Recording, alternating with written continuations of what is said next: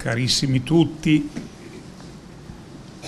nel nostro cuore in questo momento sono soprattutto gli ammalati, in modo del tutto speciale i familiari che ci hanno dato un preziosissimo insegnamento di vita, tutti gli operatori sanitari di questo grande centro di ricerca, di cura, di cultura, di solidarietà, di amore.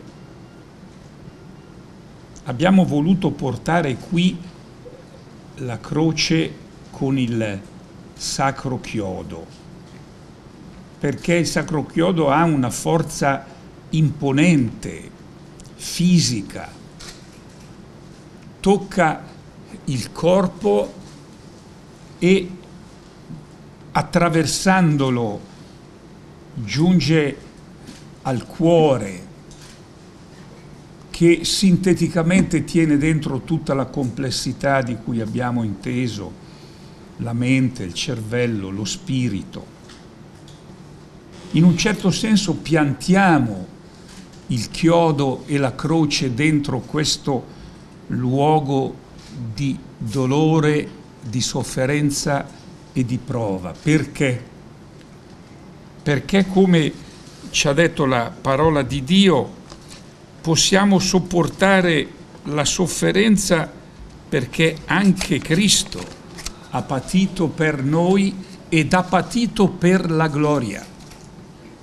E quindi ha piantato la parola speranza, l'esperienza della speranza dentro la carne mortale e sofferente, mortale per la malattia, per il dolore, per la disgrazia, per il male fisico, è mortale anche per il male morale, per la perdita del senso del bene, del bello, del vero, che spesse volte ci caratterizza per i nostri peccati, quindi questa speranza è anche una rinascita per noi.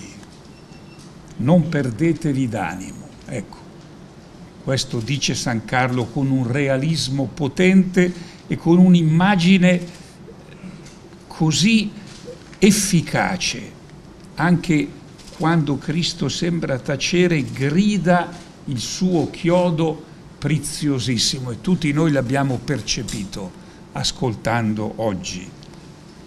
E ci dice, io sono quella penna che con il sangue vi ho disegnato sulle mani del Signore. Nessuno dica che il Signore si è dimenticato di noi in piena peste.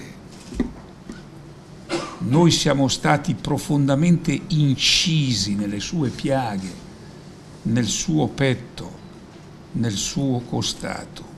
E il chiodo santo ci ha disegnati con carattere indelebile. I nostri nomi lui li vede sempre scritti e li rammenta al Padre. Tutti noi dal concepimento fino al termine naturale della nostra vita siamo dentro questo disegno sempre ultimamente buono del Padre e il dolore e la croce come per Gesù sono come la grande condizione di passaggio e di verifica della nostra verità per la gloria. Vogliamo dire attraverso questo luogo a tutti i sofferenti nel corpo e nella mente delle nostre terre ambrosiane questa intima vicinanza del crocifisso glorioso.